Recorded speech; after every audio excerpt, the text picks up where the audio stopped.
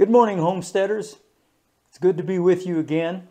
Today I want to have just a little chat about something that's been on my mind. I get so many emails and letters from all around the world asking, how do we do this Christian homestead, this Christian community thing? How do we do that? Uh, if you will send me a note, I have some prepared materials that I send out that explain how we put together a community and how it worked. So we try to make it easy for you. It's simple, but it's not easy, I should say. You can't make it too easy because you're dealing with people. But we have found some methods that really work well. But I was sitting around because I, I it's always on my mind because I get so many correspondence about Christian community I was thinking, what has made our personal Christian community, and this started about almost 10 years ago now. Marilou, my wife, started our house church, and we use the Luke 10 model, and you can look that up at lk10.com.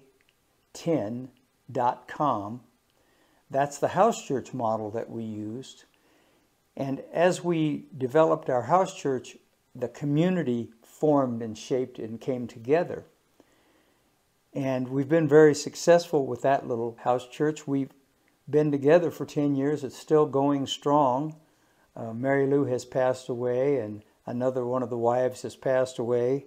So it's not a very large group. That's one of the things we talk about is that you need to keep the group very small.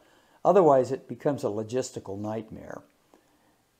So I was sitting around thinking, what what makes our group work and what is really the thing that you need to make a community click.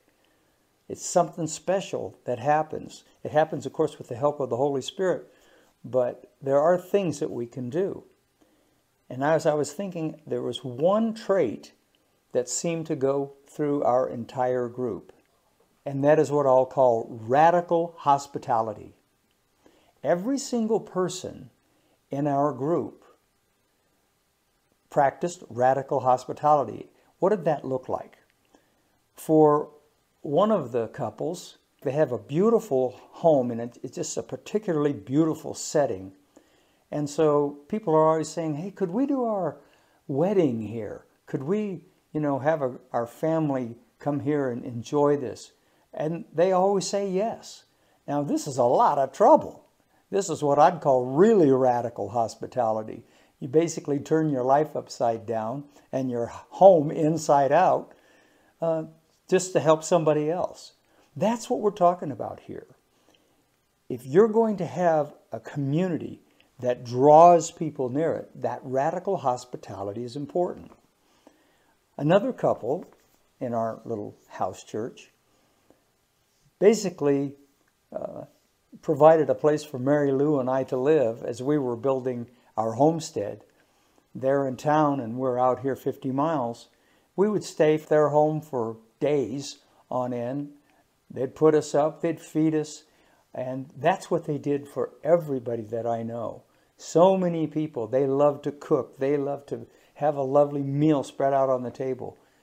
Those forms of radical hospitality are the glue that put together a real community.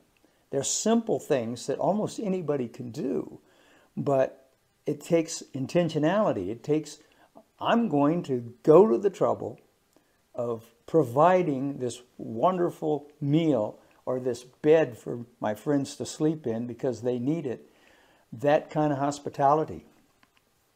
Another couple in our church I don't think they've ever turned anybody away. Their home is a revolving door constantly. And I'm one of the people still that benefits from that because, as I say, my homestead is 50 miles from town. And it's just enough where it's difficult for me to drive all the way in, do a whole day's work, and then drive all the way back. I get really tired. And they say, no, just come over and, and use our guest room and that kind of hospitality makes it so that I can do my ministry. So, folks, this is such a simple thing. on the surface. What it takes, though, is a lot of energy on the part of the person providing that radical hospitality. Uh, yesterday, I had a, a group of friends come out, and so I personally got to go through the, the rigmarole that goes with having people out and, and preparing for them and being hospitable to them. So what did that take? Well, for me, you know, I had to clean up everything, you know, just wash the house down. It took hours of work. And every time that you experience this kind of hospitality, someone has done all that work that took a lot of time and a lot of effort. So it's a gift that they're giving to you. And it's that gift on which you can base your Christian community.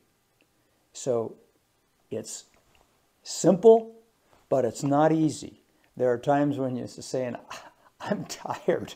I don't feel like cleaning up the house. I don't feel like having these folks come over and staying until the wee hours. I don't feel like, you know, changing the sheets so that they can stay over tonight. If you're going to experience community, you're going to have to put the energy into it and go to the trouble. Simple idea, my friends. I hope that that will give you some encouragement. If you have the gift of hospitality, you're well on your way to being able to be a very important part of a Christian community. Thanks for watching. Keep your eyes on the sky and your hands in the dirt. He's coming back soon, my friends. And that is what I'll call